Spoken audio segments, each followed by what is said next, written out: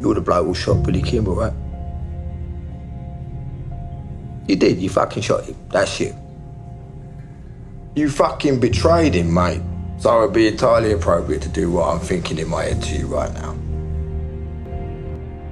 I can offer you a hundred good men, all with weapons, and a new relationship with the police. Intelligence.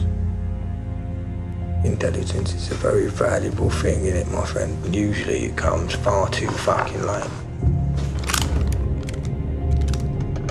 They that I shot you already, right? In the fucking face.